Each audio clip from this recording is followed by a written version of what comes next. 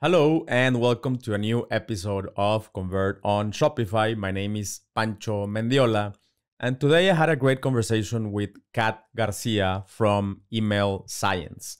So, you will probably tell in the episode that we are both email marketing fans. I have been doing or focusing on email marketing for quite a while, for some, some years now, and I love it. I think this is a channel that is highly underrated. Uh, Kat can can also tell you about her numbers. And and actually when she told me her numbers i was like yeah yeah i have i have those. I have those as well. So i i think that's a trend. We, we can we can test that that's a trend. And i know a lot of a, a lot of other stores friends peers or even stores that i manage that have uh, roughly the same numbers like in a percentage of revenue. So yeah email marketing for us is a huge deal. And in this one we we spoke about why it's also very important for conversion, not not only as to consider it as a channel, but how to improve conversion using email marketing. So uh, this was an awesome, awesome conversation. I hope you enjoy it as well as I did. So let's jump right in. Hey Kat, awesome. so thanks thanks again for your time. I really appreciate it and I hope we can have an awesome conversation. So the first thing I want to ask you is the importance of email marketing in conversion. I know that email marketing sometimes it's regarded like I don't know like as an old kind of channel and tactics. I I love it. You know I am a huge advocate as well of email marketing. But can you tell us a little bit uh, about why do you think it's really important for conversion? Cool. Well, thanks for having me, Pancho. Super excited. Yeah. Um, well, email, I'm a little bit biased, right? I'm an email marketer, but I think a lot of people don't like email because they've had a negative experience with it. But I've always, but I guess that's why right now with what I do, I try to make it a, a, delightful experience, as they say, right? As relevant and as delightful as possible. Um, marketing is pretty it's you know like from experience it's very specifically to e-commerce right? Um, marketing is is very important because at least for my clients and what we've seen industry wide it can pull in 30 40 or sometimes 50% come sales season of your revenue. So imagine if you didn't have email you're losing out on all that money um, conversion wise and you know not everybody who goes to your website are ready to buy anyway right um, but just to add some context here, because I know some people who don't do email, but like, no, you know, that email is, is overrated. I want to say first that email can do everything on its own, right? And it's it you could have the most perfect email program automation design copy you could have the most beautiful email everything. But if no if there's no traffic going to your website email can do anything because you do need a list and people need to go to your website to sign up for your list. So email is just part of a bigger marketing mix really in your program. But a good thing about it is that if you have great content great social um, you have traffic coming in email can then go ahead and support those channels type of thing.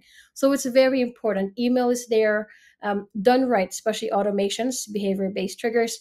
Um, done right you can nurture and you can meet your customers at the right place at the right time. So yes so email is very important especially black friday. I know it's too some people might say it's too early but Black Friday season, email is your best bet into reaching a lot of people. Email and SMS, I would say. Yeah, I I agree, yeah. and I think you mentioned something really important, which is uh, nurturing, uh, which for mm. me is a is a big part of of conversion, right? So. Uh, I think we uh, normally we, we tend to think as uh, you know optimization just what happens right at your site, but there's a lot mm. of mm-hmm other moments when the customer is not at our site uh, that they are either in their in their inbox or they are maybe in YouTube or in social media. And and with uh, what I like about email is that it's like I think it's the last the last uh, super private space where you can actually uh, decide uh, what you want in your inbox and, and what not because in you know in, in social media you can unfollow people but you you you still get ads you still get advertised. And email i think it's like the the, the last standing you know really private place. And and and i think you can be uh, you can have like intimate um, relationship with with your customers or potential customers. Uh, and and and that's that's why I think it's it's huge uh, for for conversion as well. Um, yeah. All right. Also, I agree with your numbers. Like uh, in, my in my stores, uh, we are yeah. we, we are heavy in, in email marketing, and and we we sometimes get between thirty and forty percent with uh yeah of our of our revenue. Yeah. yeah, it's it's it's big. It, it's like imagine like not doing email and just losing out on all those people right yes and yes and you, and you paid for these people anyway you they before they get to your list you would have spent money on content you would have spent money on ads. Like you spent money on them might as well try to capture as many of them as possible a pop-up a thing or two ask for their email so yeah it's, it's big. Yeah yeah and especially for also you, you said nurturing but also retention right? So yes. once once you make the sale and and you can do all these behavioral triggers like if they purchased product a then you can keep telling them about that product uh, for for like how to use it and how do they like it and all this stuff. So yeah for retention it's it's huge as well. It, retention is king is i mean especially for black friday. I mean a lot of people yes. think i mean not a lot of people but most people think right black friday you're making a killing but you know you're giving a lot of discounts. And black friday is not really a time to make a lot of profit. It's more of acquisition and it's the retention that's going to make you money you know a few weeks a few months after black friday or any sale really. So um and it's you know we all know as marketers it's much cheaper to make past customers buy from you again as opposed to having a new one buy from you. So email plays a good part and um, sms too. So email and sms together it's a killer combo for conversion and you know retention acquisition. Yeah yeah i think the number yeah. is around 75% cheaper to to sell again to an existing customer than to acquire a new one yeah. Your best customer is your existing customer, right? yeah, that's right. So, okay, now that we have established that email marketing is a big deal uh, for mm. for e-commerce and and conversion, what where should we start focusing on? Like, what's the first step that we need to to take care of? Cool. Uh, there's a lot to think about, right? For email, there's so you think about your copy, your strategy, your design but one of the things, at least once you have those things, you have, you know, you just go from the basic side of emails. One of the first things you really need to think about is deliverability. Um, you know, it's it's one, you know, like I said earlier, you can have the most perfect program, and you can even have a lot of people going to your website signing up. But if those emails are not making it into the inbox, it's just going to spam. Uh, you have bigger problems than having the perfect email. So deliverability is one of those things that's being overlooked, but especially when you have high volume high volume list if you have a lot of people coming to your site this is something that you need to watch closely right right and mm-hmm. uh so deli- deliverability and what mm-hmm. what are some actions that that we can take to to manage it or or to actually have a good deliverability yeah. I mean, specific to e-commerce, right? Everybody says go to the primary inbox, but you know what? The promotions tab is not a bad place to be in because that's where it's that's where you belong. You're sending out as a key e-commerce company, you're sending out promotional items, right? Uh, it's a good place to be in. You don't want to be in the spam box. So if you make it to the promotions tab, you're good. Now, the reason why um, deliverability, especially specifically, you want to make it to the primary inbox. Because at any given time like in the promotions tab you are there's like like i'm on on a macbook right now. And if i go on chrome and look look at my promotions tab on gmail there's like about 15 items on there. Three on top if i remember three ads and then 12 at the bottom of the regular ones. So at any given time you have 14 other competition in there to click right so if you're in the primary tab that's what people click on all the time you will people will see it so you have um, less competition there. So just making a case for why this matters. And if you do make it to the primary tab, uh, one of the things that you can do is engage with your customers, right? So when you send out your nurturing, right, your welcome flow, your welcome sequence, one of the things that you can do is encourage them to whitelist your email. But you know, I don't know, I don't know about you, Pancho, but when someone tells you add me to your contact list, how many times have you done that? Do you do it uh, or no? Honestly, I I don't do it. Yeah, I don't do it either. Right? Like you, I don't think anybody does that. So you, you send out a welcome email. I just signed up. I'm like, what are you asking me to do? So, you know, you could suggest that, but that's not at the top of the list. If you're using Gmail, there's a little star on the top right. You can ask people to do that. It's pretty quick. Hey, in the top right, click on star so you don't miss out. But one of the easiest ways, and I think Ham has a bigger return, is engaging with your customers. So it, on your welcome sequence at some point, you can ask them, you know, reply to this email. You know, not, doesn't even have to be the first one. You know, on your sequence, if you have the story of the founder, story of the company, specifically for the CEO, encourage people to reply. Um, that's one of the easiest and best ways to do it. Engage with your people, ask people to reply, and the more people reply, and of course you reply back, um, that will send a signal to email platforms that hey, this email is legit. They're sent people are you know engaging with it. They're doing you know they're replying just the way email should be. Um, that's one thing, and I know there are some brands that i'm working with a brand right now and what they do is they every season they have a new collection koozies and whenever they would have like this new launch they would ask people reply to this email. It's like a giveaway. And guess what designs are in it? So for example for summer they would ask uh, you know what designs do you think will be on the koozies is it going to be sunshine or swimsuits or umbrellas? Right? So people would reply. It's a fairly you know easy way to do things. And they get a lot of replies they get a lot of engagement. Um, not only are their clients engaged with them again the platforms are seeing that there's a lot of replies going on and it's not spammy and you have they have a bigger incentive in putting you in the primary bo- in tab than the promotions and definitely away from the spam box so. All right couple and- things there yeah, yeah, yeah. No, that's uh, th- those are great tips. So, and those those emails that we want people to reply, uh, do you recommend that they are uh, like only only text, like as if I uh, like as a human is writing it uh, and and expecting a reply? Well, it it depends on the email, right? Because like for for e-commerce, people kind of expect that it's like all big and colorful right? So as much as possible they'll try to put some plain text on there and depending on your brand on your voice you can encourage people you know in one brand you can say just hit reply. Another brand they can say please respond. So depending on the brand depending on the recipients you can word it differently but um, essentially just try to incorporate as many plain text elements as you can. I mean, I you know two ways you can do it. One is like hand coded, right? But that's expensive and takes time.